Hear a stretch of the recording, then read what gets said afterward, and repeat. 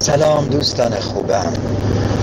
امروز سه شنبه است دوم خرداد. من دیروز خاطر کهنسالی تاریخ رو اشتباه گفته بودم ولی امروز دومه. من از ایلام یکی دو ساعتی از بیرون زدم و دارم میرم به سمت کرمانشاه از اونجا به سمت تهران. من ایلام رو یکی دو سال پیش آمدم. و یه دو سه روزی بودم. روز شب دوم بود ساعت ده شب. دیدم که در اتاق اتاقی که من توی هتل داشتم هتل دو ستاره ای بود. اونجا اقامت داشتم دیدم که در زدن در رو باز کردم دیدم مدیر هتل یه پنج نفر رو نشون داد گفت این آقایون با شما کار دارم معرفی کرد. مثلا فرمانده نیروی انتظامی جناب سرنگ فلان معاونشون معاونشون. رفتیم پایین. دفتر مدیر هتل. اونجا صحبت کردیم بعد این جناب سرهنگ به من گفتش که شما برای چی آمدید ایلام؟ گفتم خب من هر جای دیگه می‌رفتم فرمانده نیروی انتظامی اونجا می‌گفت چرا آمدی اصفهان چرا شیراز چرا بوشهر؟ بالاخره سرزمینمه دارم میرم. گفت خیلی من تحت فشارم شما این یه روزی که نبودی بسیجی ها اومدن پشت هتل و فریاد زدن مرگ بر منافق. من مجبور شدم دو تا از مامورام رو بذارم که مشکلی برای شما نیاد. گفتم خب این من که نخواستم این کار شماست. نهایتا برگشت گفت نوریزاد کیه که اینقدر من تحت فشارم از بالایی به من میگن برو اینو بیرونش کن.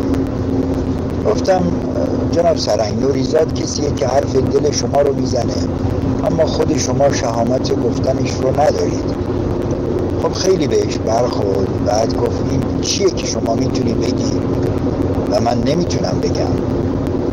گفتم که نوریزاد میگه که ام الفساد هر استان امام جمعشه و سپاهش.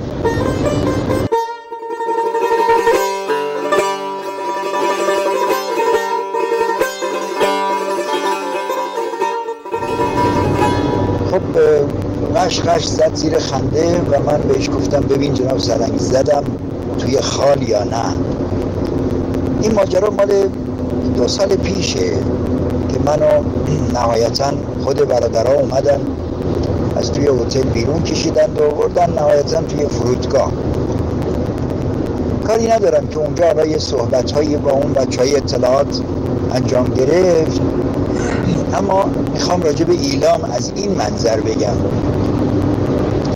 ایلام یک زیبایی بزرگه یک قشنگی بزرگ.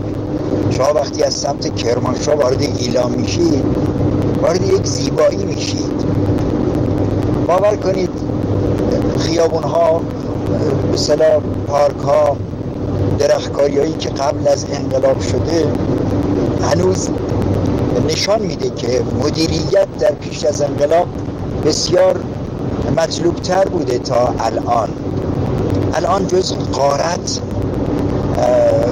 انجام نگرفته. یعنی آنچه که از ایلام برداشتن ثروتش بوده و چیزی به او نیفزودند استان ایلام یه استان چهار فصله یعنی یه منطقهش گرم گرمه مثل دهلوران داغ داغ و یه منطقه مثلا کوهستانی یه منطقه سردسیر یعنی واقعا یه جایی ما رفتیم دیروز از ایلام به اسم گچان که پیشنهاد می‌کنم هر وقت ایلام آمدید اگر توان یک کوهپیمایی با شیب ملایم رو داشتید حتما به گچان سر بزنید. یعنی یک قشنگی بزرگ یک زیبایی بزرگ. و در کنارش از اون بالا می‌تونید یک قارت بزرگ رو ببینید. ایلام داره قارت میشه. ایلام تمثیلی از سرزمین ماست. مثل همه استان ها مثل استان کرمانشاه در مجاورتش. یا مثلا خوزستان. اگر خوزستان غارت نمیشه. اگر کرمانشاه غارت نمیشه. ولی من واقعیتش نه که دو سال پیش ما رو بیرون کشیدن این برادران اطلاعات از هتل و با زور ما رو آوردن فرودگاه و ما رو برگردوندن. این سفر من ناقص مانده بود. من احساس کردم که ایلام داره به من میگه که بی وفا گذاشتی رفتی و این پسر دستوری رو که ما بردیم احواز و جراحی کردیم من صدای ایلام رو شنیدم که من رو به سمت خودش فرا می‌خواند. از خوزستان خارج شدم آمدم استان ایلام اولین شهرش دهلوران بعد مهران و بعدم آمدم خود ایلام. قبلا هم شهرهایی مثل در شهر و اینا رو قبلا رفته بودم دیده بودم و دربارش نوشته بودم. اما عزیزانم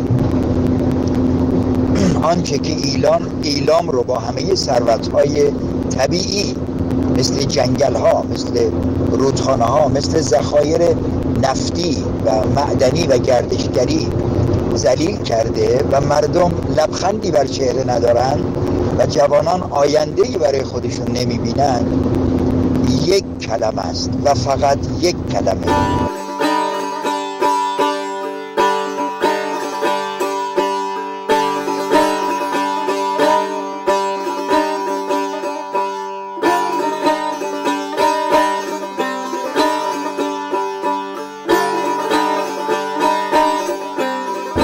از من مکدر نشند روحانیان. از من مکدر نشند کسانی که لباس روحانی بر تن دارن و فکر می‌کنن من با اونا لجم. من با اونا دشمنی دارم. اصلا اینجوری نیست. آقا تا زمانی که آخوند بر سر این کشوره نه ایلام نه هیچ استانی کل کشور روی نیکبختی و آرامش نخواهد دید. این رو من از این منظر میگم که دلم برای همون چیزهایی که روحانیان برای او پرپر می‌زنن مثل دین ایمان اسلام میسوزه.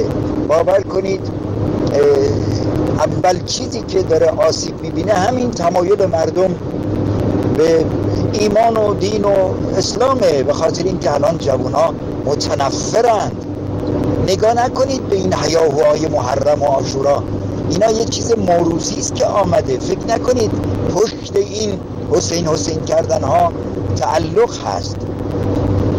غیرتمندی تاریخی است که به این سمت آمده و الان جوان سیاه میپوشه علم و کتل بر میداره بر سر و سینه می‌زنه حسین حسین می‌کنه.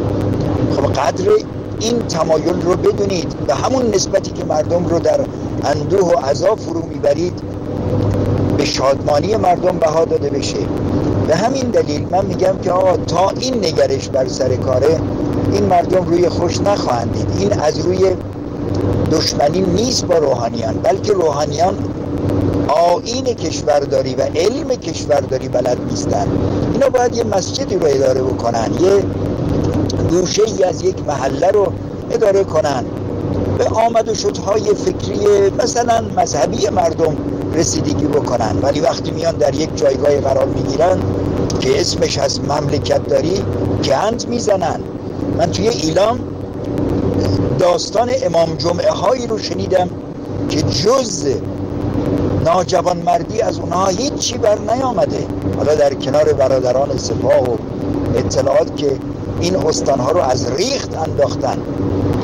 حالا در کل راجع به کشور اگر بگم کشور یک ایلام غارت شده است. با تمام ذخایرش با تمام زیبایی هاش با تمام جوانان دختر و پسر پر عاطفه و مستعدی که چشم به راه یکی هستن بیاد دست به استعداد اونها ببره. من اطمینان دارم اینکه شهرهای نفتخیز ما در بدبختی و فلاکت به سر می‌برن. یک تعمد ناجوان مردانه پشتشه و اون اینه که آقا سپاه بسیج میگه آخونده میگن که ما اگر به مناطق نفتخیز برسیم اینا روشون زیاد میشه. اینا رو همیشه باید گرسنه نگه داریم. بیکار نگه داریم. آخه مگه میشه شما نفت رو از زیر پای یک مردم بیرون بکشی و اونها در فقر و بدبختی و اعتیاد فرو برن؟ اعتیاد در ایلام بیداد می‌کنه بیداد می‌کنه. این نیست مگر اینکه یک جفای بزرگ به اسم قارت در این سرزمین دست به دست میشه؟ آقا شما رمق یک استان رو میمکید و جز تباهی برای مردم باقی نمی‌گذارید. من امید دارم در یک سفر دیگه حرف از قشنگی ها بزنم. امید دارم حرف از شادابی بزنم شادمانی مردم بزنم. ولی چه کنم؟ هر جا میریم تو این سرزمین جز قارت جز حضور برادران سپاهی و اطلاعاتی و امنیتی و جز سرکوب مردم و جز سرشکستگی و تحقیر و بیکاری و اعتیاد نمی‌بینیم. دوست داشتم یه روز می آمدم داد می زدم مردم مجده مجده بیایید به ایلام سر بزنید که در کنار زیبایی آرامش هست ادب هست احترام هست کار هست معیشت هست ثروت هست. بیایید به این ثروت بزرگ سر بزنید. با امید اون روزها موفق باشید.